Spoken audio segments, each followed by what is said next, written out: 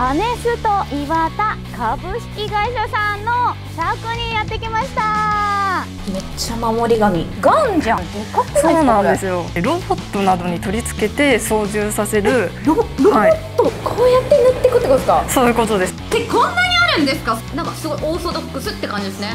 これがさやっとなんか違いが分かって買いやすくなったなって思いました。皆さんこんにちは高坂きなです。今日も始まりました。もちんち TV 今日はですねじゃじゃーん。アネスト岩田株式会社さんのシャークにやってきました。でめっちゃめっちゃ広いんですけど。えどこ行ったらいいの？どこ行ったらいいの？ん？ん？であれ？この子。ふーライアちゃんじゃないですか？フライヤーの妖精フーライヤーですフライヤーよろしく。まずはこちらのおおえすごい広こちらのショールームはお客様をお迎えしておもてなしをする場所として2017年にリニューアルしました。めちゃくちゃ綺麗これなんですか？これがベンチでして。はい、座っていいの？そうなんですよ。やった座ろう。どうぞどうぞ。座るどころかねこれ転寝っ転がっていただいて。で応接室もございまして後ろの奥には弊社の事業を紹介する展示スペースもございます。すごアネスト岩田さんって、はい、私エアブラシしか知らないんですけど、はい、いろいろあるんですか？いろいろあるんですよ。でむしろ工業製品の方が多くってでエアブラシに似ているスプレーガンっていうものもあるんですけどそちらがどちらかというとメインになっています。あの弊社の創業90周年の時に工場で製作したロボット、はい、めっちゃ光ってない？光りますこれ。えなんだここ？新品の空気タンクをダメージ塗装で溶接しているものではい説明がはい。なんちゅうかっこいい展示なんや。ま あ弊社の技術を詰め込んだ遊び心の結晶です。めっちゃ守り神。弊社が主に2つ事業がありまして1つ目がコーティング事業。でここにスプレーガンやエアブラシが含まれます。これがコンプレッサーを分解したものです。コンプレッサーでかいやつですか、はい、これ。めちゃくちゃでかいこうなってるの？はい。なんか何層もあってエロいなこれ。みんな構造大好きだからこれ。あ本当だ。これもレシプロコンプレッサー見たことあるわ、はい、でっか。こちらのコンプレッサーはもう一つの事業のエアエナジー事業の製品になっています。エアのエネルギーという意味でコンプレッサーとか真空機器とかを取り扱っています。で右半分がエアエナジー事業左半分がコーティング事業の説明になっています。ガンじゃん。そうですそうです。えー、かっこいい。でも私たちが使ってるものでかく そうなんですよ。もっともっと空気量がたくさん出るようなものになっているので自動車のライン塗装で。はい。ここがスプレーガンの製造工程を左から順に表したものに。そう巻き戻ってんの、最初もっと最初はアルミの塊です。うわえここ？はい。溶かしてるんだね。溶かしてで型に入れて鋳造はい余分なの取ってきれいにして、はい、でもまだマットだからコーティングしてるんだはい。研磨とあとメッキ加工といろんな細かいパーツが差し込まれて、スプレーがになりましたと。はい。おおこちらが W61 っていうものなんですけど、うんうん、1961年からずっと販売してます。だからこの箱？やばいね。まあ今は違うんですけど、はい、これ当時の箱ですよね。そうです。はい。ほぼ変わってなくないですか形。もう変わったらもう完成形がこの61年にある。はい。地がえっ、と弊社を代表するスプレーガンのワイダー1というモデルになっております。はい。けまあ、汎用性の高さが特徴でいろんな、うん、あの業界でご使用いただいてます。まあ、自動車のライン塗装もそうですし、まあ、金属プラスチックあと木工家具とかいろんなところでご使用いただていてで2019年にモデルチェンジしたんですけど、うんうん、翌年の2020年に機械工業デザイン賞を受賞しました。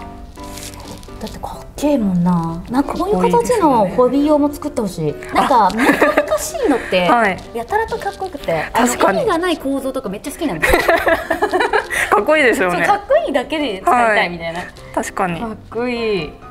えこっちは？こっちがなんかおしゃれなやつそうなんですよ。これ花火のレーザーマーキングになってまして秋田県大仙市っていう場所があって、うんそこのふるさと納税だけでご購入いただけるモデルになっています。あじゃあふるさと納税したらこれまだ今もはい買える、ってこと？今も買えます。でなんで花火かっていうとその大仙市が国内屈指の花火大会で有名でして、へー。そのた関係で花火のマーキング。おしゃれなデザインですよね。ありがとうございますつまみのこの赤い部分にもレーザーマーキングしてるんですよ。あ花火の。本当だ。はい。雪の結晶みたいな。はい。可愛いですよね。綺麗今話してたのが人間が手に持って吹きつけるハンドスプレーガンなんですけどこの左2つもそうです。そうじゃなくてロボットなどに取り付けて操縦させるロロボット、はい。ロボットが使うのこれ。そうです。それが自動スプレーガンってホビーの世界では知らないものが大量に出てくる。そうですよね。でまあ大きさがそれぞれ違っていて小型とはい。ロボットのはい手にそのままついてるってことですよね、あそうです。もうアームに取り付けて。でそのまま打ってるの。めっちゃかっけえじゃん、えこれ私の手にも取り付けますか？い きますでそのロボットのミニチュア版が両端に。見たことあるあこういうアーム。ありますか？あるある。あこの先にあれがついてるんだ、そうです。でこれ、へー。ここにあるの全部自動スプレーガンでもっともっと種類あります。なんかなんか全然ね人の手で持つやつと形が違うんですね。そうですよねこういった穴が全部自動スプレーガンについていて、うんうん。この穴に棒を通して固定させるんですね。でその棒っていうのはもうロボットにもあるしロボットじゃないただの棒にただ固定させて使うっていう方もいらっしゃってそのための固定させるための穴になっています。はい。もういろんな角度でくっついちゃうってことですよね。そうですね。うわー面白こちらが、こっちですね。はい。いでっかカップのサイズがペットボトルぐらいあるんだけど。こちらが自動車保守用の。あーだからでかいんですね、はい。大容量タイプ。そうですね。ということは出口もでかいみたいなことですよね。はい。でで、はい、こんな待って何このカップ？うーわこういうのいいな、この一番右のうんうん。モデルは弊社がネーミングライツを取得している箱根の有料道路のうんうんうんアネスと岩田ターンパイク箱根という道路とのコラボモデルになっています。これはあの以前売ってました。期間限定で。はいこんなかっこいいのあるんだ、はい。でその隣はカーレースのチームとのコラボモデルになっております。チームってことですよねはい。へえ色が一緒デザインとかこの辺り一緒ですもんね。はい、まあ、こういった感じで自動車補修は職人さんが自分の持ち物として持っていただくことが多いので、うんうんデザイン性にこだわってあのつまみの部分も色を施したりだとかね。そういったが楽しくなるそうですそうねです。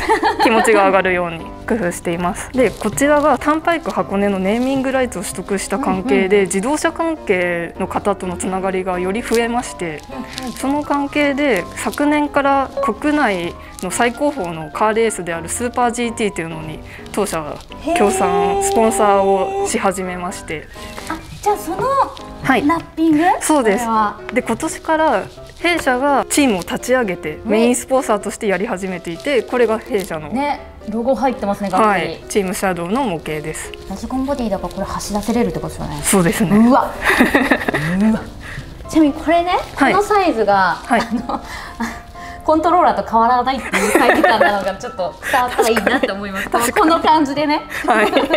こちらが弊社のはい。海外拠点を表しておりまして、えめっちゃある、はい、約20拠点がありますちゃいろんなところに、はい。あこんなところにもある。そうなんです。南アフリカからヨーロッパもヨーロッパ。そしてアメリカアメリカ。ブラジルですね、はい、でエアブラシの主要な販売先がうんうん。実は、まあ、アメリカをはじめとする海外でして。こっちなんですか？そうなんですよ。大型のものが多いから、はい。車にそうなんアメです車が派手なのって塗ってるってことですよそうね、なんですよ。そういうことですよね。はいやっぱりカスタムペイントであったりエアブラシアートがすごく海外の方が盛んなので弊社のフラッグシップモデルである岩田ブランド。これ、はい。このロゴ超よく見てますよ。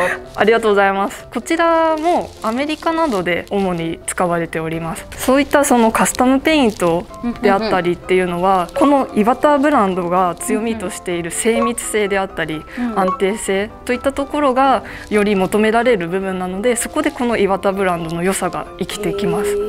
なので日本でもプロのアーティストの方であったり専門学校でよくご使用いただいています。でまあもちろんプラモデルにもご使用いただけます。プラモもこのロゴです。はい、こちらが食品用の液体を吹きつけるためのスプレーガンの専用のお部屋となっております。あ本当だ。奥にキッチンスタジオって書いてある。そうなんですよ。ケーキにチョコレートを吹きつけたり。あそういうのがはい。これがーそうです。で全部ステンレス。形は全然一緒なんですね。はいそうなんです。ステンレス。錆びませんということですか、そういうことです。なるほど。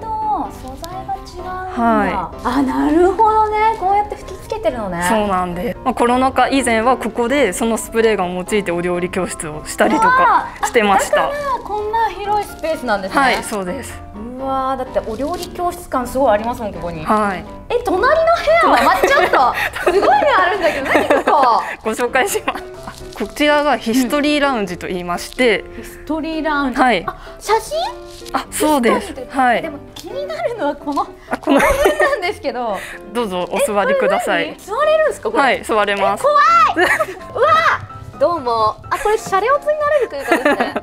えすごいなんかここフラゲちゃん。アネスト岩田さんの YouTube で活躍しているキそうです。ャラクターちゃんです、い。アネスト岩田のスパーマックスというエアブラシブランドのチャンネルで出させてもらってます。でこちらが、はい。えっと、創立1926年から現代に至るまでのお写真約200枚を展示しています。すげえ。霧を噴射する塗装 石器みたいな名前がちょっと読めないっていうねもうね昔の社名です、スプレーガンとはみたいなちょっともう時代が懐かしい感じですもんね。そうそうですよね。でもこれは変わってないですもんね。はい。ね。これそうですよね。めっちゃすごい。うわーってかおしゃれっすね。ありがとうございます。天井天井 天井もあって。うわまあ、当時の社員の生き生きとした表情とかを、スナップ写真を載せています。アネスト岩田さん知らんかっただけめちゃくちゃでかいぞ。ありがとうございます。ではこちらのコーティングソリューションセンターにどうぞ。すごいまたでっかい建物ですね。こちらがコーティング事業の研究開発施設となっております。まためっちゃ広い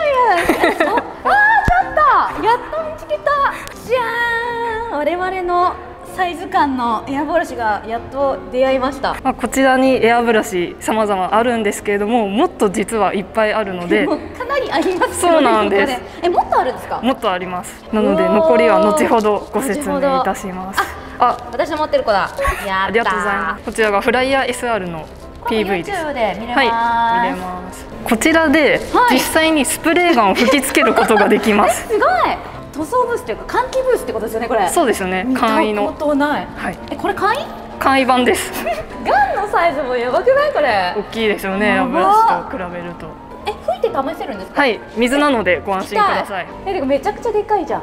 このサイズやばくないですか？大きいですよね。縦一列いったんだけど。何これ？うーわー。うーわー。レベルが違うこれ0.1メガパスカルです。空気量が全然違います。一瞬でこの面積に塗りつぶせんの、はい。これがスプレーガンの威力。やばこちらが先ほどご説明した自動スプレーガンを搭載する塗装ロボット。はい。い。あロボットかこれが、こんな感じです。すごいでかい。これがさっきの軸で刺してるって言ってたやつですね、はいこっちからはい空気とか塗料が流れてくるから、はいこうカップみたいなのがついてなくても拭けるってことですよはい、そういうことで。すはい、そうです。やべえ こちらを押していただくと動きます。えマジっすか？はい。うわうわうわうわえそっか周りも補助で回っていかなきゃいけないんだはい。えなんでこれえなんかカラクリ時計みたいなの見てる気持ちにな本当ですね。え何これ？う動き始めたよ。えこれ塗装するってことこれ？塗ってます。こうやって塗っていくってことですか？そういうことです。回転塗装っていう方法をとってます。えー、すげえ。そしてなんか柔軟性が半端ないロボットですね。まあこれもちろんね今色は出てないんであれですけど、こんなあで上向きにまたそうですね。いろんな角度から当てに行くんだ、はい。すげえ人がやってる作業より圧倒的に速いですねこれは。そういうことですでもブね。レがないから絶対綺麗ですよね。そうなんですよね。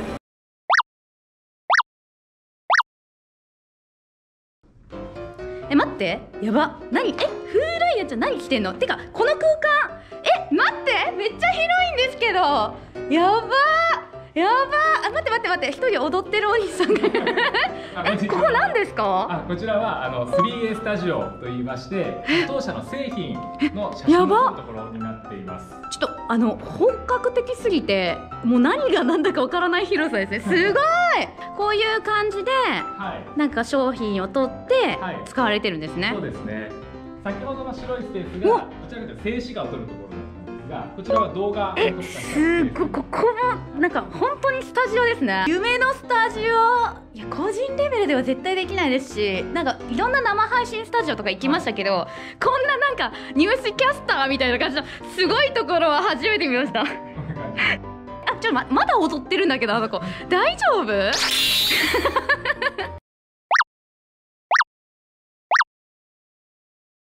ってこんなるんですか？すごくないですか？エアブラシこれが岩田ブランドの全機種です。やばさっきもめっちゃあると思ったのに。え何が違うんですか？めちゃくちゃありますけど。これは岩田ブランドの中でもシリーズが分かれておりまして、うんそのシリーズごとに色分けをしています、それぞれシリーズが違うってことなんですね、はい、基本的なモデルのネオっていうシリあーズ。この緑の子たち、はい。ほうほうほうほうほうほう。でその次が赤のレボリューションシリーズ、まあ、こちらは初心者からプロの方まで幅広く使える、うん。ご使用い。ただける機種結構このレボリューションのシリーズめちゃくちゃ多いですね、エクリプスシリーなん。か中二病っぽい名前ですねズでこちらが HP プラスシリーズ HP プラス、はいもうね覚えられなくなってきたなん。かでも色で強くなってくん。だだから、はいきっとこっちですよ今度こっちがハイラインシリーズあーハイライン高そうえでももっと高さな子がいるんですよ。めちゃくちゃかっこいいもんこれ。何これ。こちらがカスタムマイクロンシリーズで最上位モデル。カスタムマイクロやっぱ強そうな名前になってるじゃないですか えすごい量。えでもこんだけあったら迷いますね。どれ買っていいか。そうですね、うん。もうでも機能がそれぞれ違っていて、まあ、用途に合わせてご選択いただけるようにしています、これがネオちゃんではい、すすごいシンプルじゃないですかなんか。一番シンプルで一番安価なシリーズとなってだってえカップもないってことはあ、はい。これつけるやつか下に。そうです。はは水水揚げ式の子とこっちはカップがついてて、はい。ダブルアクションでしかもカップがもう一個ちっちゃいのもついてますね。はい。へえ軽い。これは楽かも楽ですよね。えでもさこの引いた感じすごい気持ちいいよ。うん。うん。うんほら戻りよパシパシ戻りがいい。まあプロのメイキャップアーティストさんもご使用いただいて。えでも確かにシンプルで私なんかいろいろ使ってない機能いっぱいあるからうん。正直いいかもこれ約9000円でお買い求めいただっていうか普通の値段？ってはい。感じですよね、け申し訳ないんですけど高いイメージが結構あってそうですアニメとかさんって、はい。い、いものいっぱいあるからそれぐらいなんですね。はい。うーん。えでもシンプルで可愛い。めっはちゃつるっとしてる。この辺こちらの赤がレボリューションシリーズです、お3つピックアップしてくださいました、はい。あこれがスタンダードな感じですかね。そうです。これが岩田ブランドの中で一番売れているあ HPCR というメジャーな子ってことだ、はい。えでもこれもシンプルっすね。そうなんです。えさっきの子と何が違うんだろう？こちら0.5ミリうんうんうん。のノズルと7ミリリットルふんふんふんなんふん。ですねめっちゃ標準な感じ、はい。なのでまあこれ1本あれば大きめのものから小さめのものまで絞れば使ってますしもう幅広くご使用いただける機種となっています。なんかすごいオーソドックスって感じですね。そうですね。うんここも滑らかでございますよ。えってことはこれがダブルアクションってことはこっちはもうトリガーの子たちってことなんですね、あすごい。あきっちりしてるどこからスイッチ入るのかめっちゃわかるかも。ここまでが遊びででここから出ます感がすごいあるので握った時の感覚がすごいつかみやすい。これさらにサイドカップなのでより視認性が高くなって確かに。そうそうそう。上にねカップつくとでかいので見えないんですけど確かに前のこうやってどこ拭いてるかが確認しやすいはい。感じになってますね、はい。私もサイドカップ派です。洗うのはちょっと大変なんですけどこっちの方がそうなんでね。でも拭きやすい、はい。えこのこのここなんだ？あこれ塗料押さえで実は左右入れ替えられます、あそういうこと、1個で。右利きでも左利きでも？そういうことですあそれねありがたい。いや左の人結構困っててこれ。そうですよね。うわすげえ。入れ替えれるんだ、はい。入れ替えれるというリミックが素晴らしいすでに。なんかただ変えたいだけみたいな。PR1 と2で0.3ミリ0.5ミリ。だからカップがはいちょっと大きくなってんだこ違いちらがます。はい。5なのでよく吹き出ますと、えそうです。これなんですか？これフィルターでして。フィルター？水抜き？そうです。軽っ。軽っ。これここにつけるやつですね。下にね、はい。うんうんうんうんフィルターが中に入ってますね、あこれもついてくるんですかこついてのきます。子お買い得岩田ブランドの中で一番売れているのがこちらのレボリューションシリーズの HPCR このシンプルな子ですね。はい。うんうんうん。カップが 7ml で一般によく使用されているものでこれはもうカップがないもの。ないで？そんなのあんの？あのネイルとかでよく使われてるとしか色に使わないから。ちなみにこの型式に A ってついてるのはうんうん。カップなしっていう、あ A これ？はい。B っていうのもあって B はカップはあるけど蓋なし。蓋って使うんすよね。そう洗うのめんどくさいんですよ。はい。あ部品を減らして安くしてくれてんだ。ああーめっちゃいい。わかる。いるところだけ買えばいいんだ、はい。めっちゃわかる。でどんどん増えたり減ったりしながら、はい。こんだけ種類があるんですねこれは。じゃあこちらのエクリプスというシリーズになっていて、ちょっと機能ここここ増えたんじゃないですかこれ。ここが、ニードルを調節できるということですね、はい、どれぐらい動いてるか見える。見えるのか、はい。あ確かに。確かにこれ引いたらここが連動して動くから、ちゃんと動いてるのを感じられるわけですねこれね、はい。なるほどね。でこのエクリプスシリーズの特徴がドロップインノズルという機構を採用している点にあります。まず塗料の経路が大きくなっているんですほんほんほん2つのメリットが生まれます。まず1つ目が比較的高粘度なサフとかクリアとかを使いやすくなります。はなるほどね、はい。粘ってても吹き出せるほど口があるってことだ、はい、でもう一つがノズルをはめ込み式でつけられるっていう。はめ込み式？ノズルってレンチでこ外さはいない外します。とその塗料の経路が大きい分もうそのままドーン。なんです。かえどういうこと？え外していいですか？一回、はいお願いします。えこれ普通に外せばいいんだね多分ここ。普通にまずキャップこうあここ外して二連で外して。よいしょ。そのノズルとやらを。確かにでっかいノズルしてますね、なんかね。ドゥーンってきてはい。えこれは外れるんですか？これがこのレンチ。あさらに外すの、付属しているレンチでこれを外してください。へえくるりんちょあいけた。で外したらえ？え？え？これが外れるってこと？もしかして。そうです。すげえぞこれ。何これ？壊れんじゃんじゃあなんかよくそのネジで留める式のノズルって、はい。ネジ切りすぎてパティってなるみたいなのよく聞くんですけど、はい。絶対これ大丈夫じゃん。へ洗え確かに。でかいね、はい。なくならんやん。筆で洗えそう。えー、すごい。実際触ると確かに便利ですねこれ、うん。うんあこれ結構人気でそう。なんか折らない安心感みたいなのがはい。やっぱありますよねここにあね。こんな子があるんですね。はい。こちらの青が HP プラスシリーズ。このアジャスターがついてこの調節つまみがうんうんうん。標準仕様でついています、どんどん機能が増えてきますね。そうですね。でこちらの HPCP っていう機種は 0.3mm の 7ml うんうんうん。でダブルアクションなのでめっちゃ標準的なそうです。はい。感じ、はい。確かにみんながよく知ってるザ・エアブラシのハンドピース感がすごいありますね。そうですね。このねこれがねこれがいい。そう。なんか結構長いこと使ってるとここがツールクリーナーとかへたってくるとかで、もう帰ってこなくなったりするんですけど岩田さんの長持ち。超長持ちなの。そう。それがねいいよね。触り心地が分かるこのちゃんと跳ね返ろうとする感じ。だから調節しやすいんですよね。こちらの紫がハイラインシリーズです。ハイライン名前からも、はい。あこれだここだなそう。なんか間違い探しみたいになってる。徐々に増えていくね。ほんとね。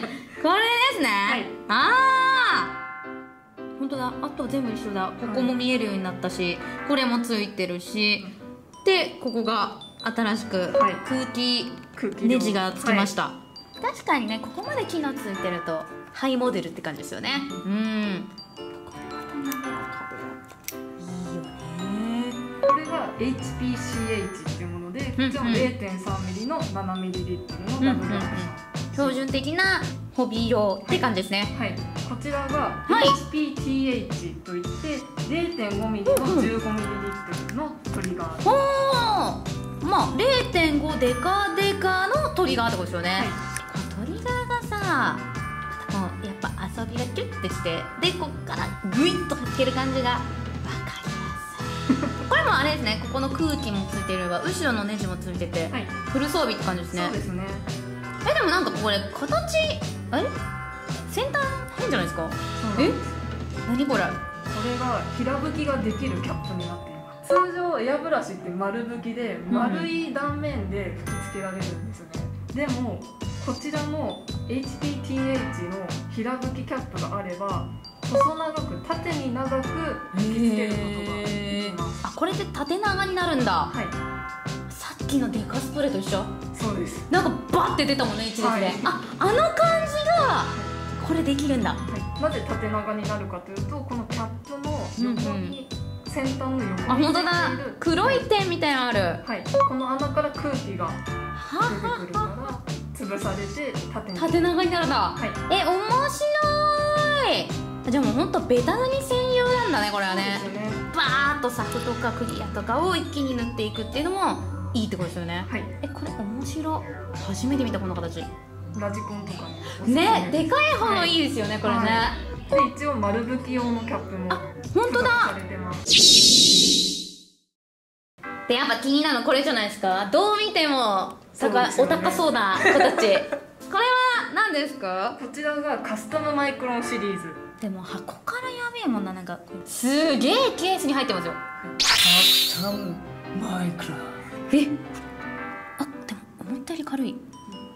あちょっと待って。まずここから違うわ。クラウンになってんだ、はい。待って待って。まずまずこれついてるでしょ？ついてます。でここ見えるでしょ？えここも穴開いてる。えどういうこと？これはノズルをここから締められる。えってことはこれあれですか？こっちに戻ってくるこのパッキンをはい。一回一回分解しなくてもここで触れちゃうってことか？そうえー、ここも触れるしここも触れるしもう開けんでいいやつやん。はい。でここもついてる。あここのなんかメモリも豪華になってる。超かっこいいじゃん。でもねここもねなんかね触り心地がねツルツルじゃなくてセミグロスみたいな感じになってるんですよね。あれここも違うじゃん。あそうなんです。なんかボタンがでかくなったえええこれすごいよ。やっぱ面積があるからあと引っかかりがいいようになってるからなんか。すげえ引いた時の滑らかさが。えすごい。だってこんだけでも引けるでほら。うわー確かにこれはすごいわ。特徴としてはノズルヘッドシステムっていう仕組みを採用ノしズルヘッドシステム。またなんかかっこいい名前が。はい 通常のエアブラシだとうんうん。空気穴が1つでもこれは3つ開いています。空気が均等に流れていくんです。こうこうやってやるとはい。ブレるけど、こことこことここだから、い。こうやって出るってこと？そうです。伝わった今のが そういうことでしょ、い。三角になっててなんか綺麗にフワって出るってこと？こちらがスパーマックスブランドです。知ってますよ。この子でしょ？っていうかもうむしろフーライヤーでしょ？そうです。これの人だもんね、はいああこれはもう私も紹介させていただいてめちゃくちゃ使あっているこうね瓶を入れ替えるっていうなんかこうガン打つ感じの気持ちになれる感じ？マガジン入れ替える感じ？なのがめっちゃ楽しいガンなんですよね。はい。この瓶に塗料を入れていただいて塗料ごとに瓶を用意してもらうことで洗浄なしに色替えができる。そうそうそう。う差し込めばいいんだもんね、はい、これは差し込めばいいねこれがおすすめのフライヤー SR です。フーライヤーとフライヤー SR です。他にも実はエアブラシ、え。こんな種類あるの知らなかった。です、もう本当このイメージが強すぎて。そうですよね実はいろいろあって。うんなんかこれどでかいっすね。とでかいですよね。やば。グーの手ぐらいありますよ。はい、うん。これ 125ml 120が、あしかもあれや。先端はこう縦吹きができるやつですね、はい。あーすごい。こちらも丸吹きタイプものキャップもあ両方入れ替えて使えるようになってるんだ、付属しています、あでもシンプルな作りなんですね。そうですよね。トリガーであと別に他の機能がついてない。あまあこでもここは使えるかな、はぐらいなので、はい。シンプル。うそうです。ーん。で 0.5mm のノズル。じゃあもう本当にクリアとかガンガン吹くようですね。そうですね。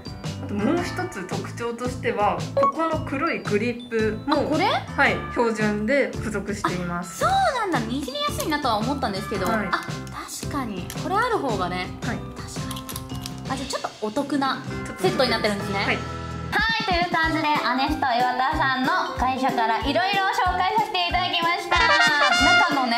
ショールームもすごかったんですけどこんなにエアブラシ紹介していただいてやっとなんかそれぞれの違いが分かって買いやすくなったなって思いました。ありがとうございます。でも私は聞いた中ではやっぱりなんかスタンダードなホビー用って感じがしたので、この青色の HP プラスシリーズの子がニードルのところとかねいじれて使いやすいなっていうのとでもハンドピースの指でも全部使うの慣れちゃってる。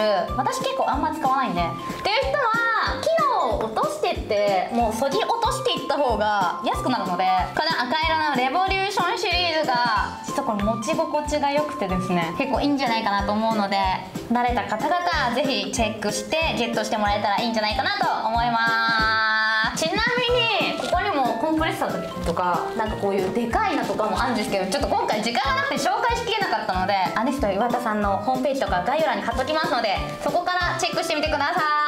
よろしくお願いします。と私フライヤー SR の妖精フーライヤも YouTube チャンネルを実は持ってます。そうなんですよね。はい、うんうん。スパーマックス製品の紹介であったり製品を使っていろいろチャレンジしてみたりしてるのでぜひ見てみてください。そちらも概要欄からチェックしてみてください。ということで以上もケンチュ TV でした。また